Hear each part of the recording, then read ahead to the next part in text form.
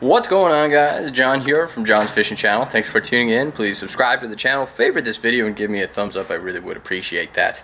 Today I'm going to be talking to you guys a little bit about reel care and what you guys can do to take care of your reels uh, and just kind of, you know, preserve the, the working function of them. They will last a really, really, really long time if you put a little care and maintenance into them and actually take care of them, you know, versus just setting them in the corner kind of like the ones over there hanging. You forget about them and you put them on the wall or put them in a shed, and they go two, three, four years without uh, without being maintained or taken care of or used. You can run into a lot of problems when you're out fishing, uh, you know, you, you hook into a big fish or you're on you're on a hot spot and you're catching fish after fish after fish. The last thing you want to happen to you, you know, you, is your reel to seize up, your line to break, you to run out of line.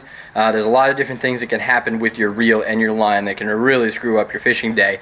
And uh, you know, if you don't have an extra reel with you or an extra spool with you, it, it could potentially end your day, and you don't want that to happen. So there's a few different things that you can do to take care um, of your reels. I've got a, couple reels here. You can see this one has got a little bit of dirt on it. Um, it's kind of dirty. It's got some some gunk kind of right in there, especially. Um, I'm going to clean all that off.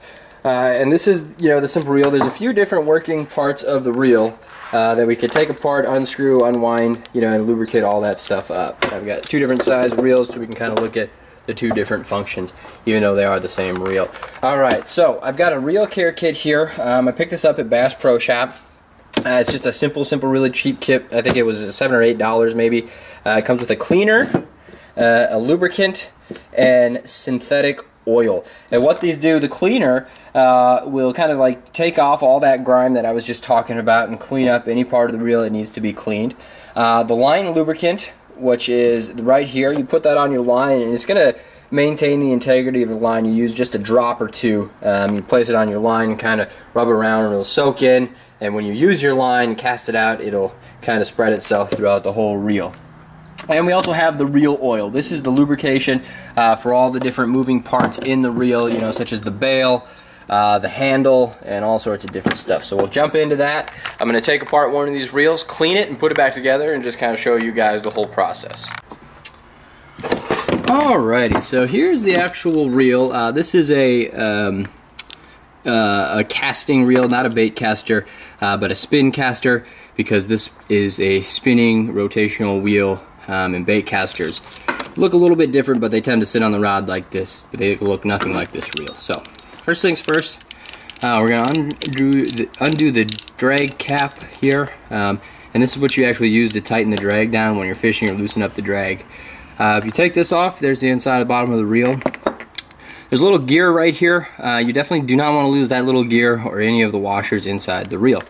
Um, so the first things first, we're going to take our cleaner and we're just going to kind of like spray a little bit all over the place, just like that.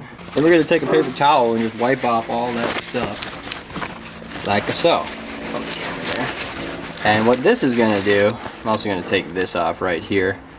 This is the cap, screw-on cap that holds the, the reel handle in place.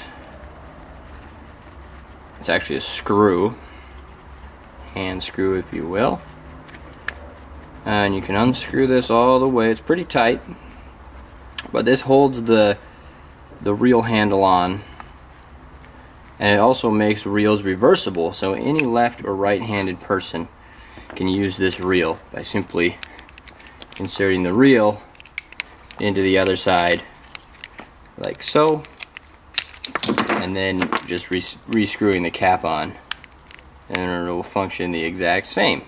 Have a little trouble getting it on here watching it on video uh, but just like that. So, uh, we, you know, we want to clean up all of this stuff. We want to kind of wipe it all down, get all the junk out of there, because uh, the gunk is bad for business. You let that stuff build up over years, uh, eventually, you know, your, reel may seize up. Uh, so, now that we've got that off too, we can really get in here. We're to get some of that gunk off bottom of the reel. You know, and you could take this a step farther and, you know, take the screws out, take the reel apart. Uh, I don't recommend doing that. Putting these back together can be tricky if you lose pieces. Um, you know, they are pretty integral little devices, even though they don't look like much. There's a lot going on in there with this bail and everything. Um, so I don't recommend going that far, but if you really know what you're doing and you're really comfortable with reels, you could definitely do that and you don't even need to watch this video because you probably already know what's going on. Okay, so now that I've got that all cleaned up, of course, you know, I would work a little bit harder on this if this was a full total blown out cleaning, but I'm just trying to make a short little video for you guys. All right, uh, and then we're going to take our reel oil and we're going to apply it to all the moving parts. Uh, that was a little much um, of the reel, just kind of like you know in and around any joints uh, that are going to be moving.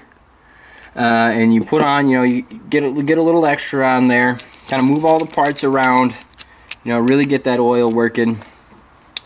You're gonna put a little bit in here um, on each side where the reel handle will uh, be reconnected. And then you can go actually go ahead and insert that back into the reel like so. Take your cap and uh, screw it right back in there like so. and this is going to tighten up the handle of the reel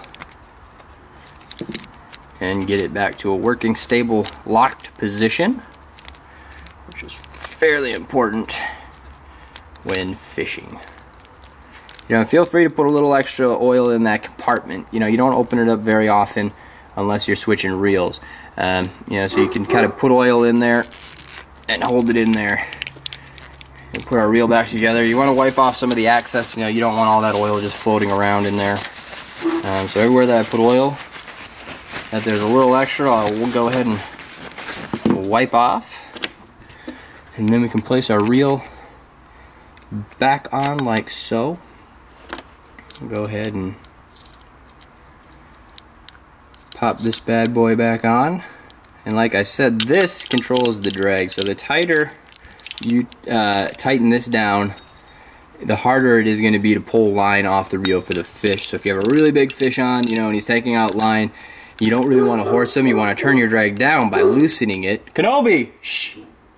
And that will allow you for the fish to take out more line without you breaking them off. There's a lot of people out there that catch huge, huge, huge fish on really light pound tests. There's actually competitions out there and world records to see the biggest type of fish that can be caught on the lightest uh, line and tackle. So that was a reel fishing maintenance video. I hope it helped you. Last thing we have to do too is take the lubricant oil with fish attractant uh, and just kind of you know put two drops on either side of the line and as you can see that's going to spread out a lot there and when you throw the line you know the line's going to be constantly being wrapped around itself again so it'll all kind of touch each other and that is how you clean and lubricate your reel make sure you keep your uh, your spool, reel spools here in working order. You know, you kind of want to get them respooled every other year. It's not very expensive. You can buy a machine to do it yourself, um, but that's something I'll be talking to you in the next few weeks about too, is just how to spool your own reels.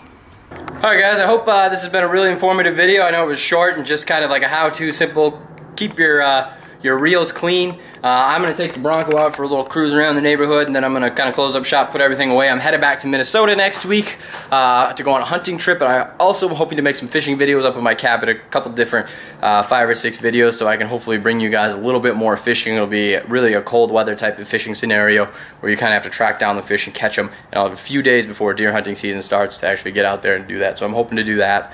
I'm uh, going to be making a bunch of ice fishing videos this winter for you guys when I go home for Christmas. I'm really looking forward to that too. It should be really, really exciting. Ice fishing is really, really fun. Thanks for watching, guys.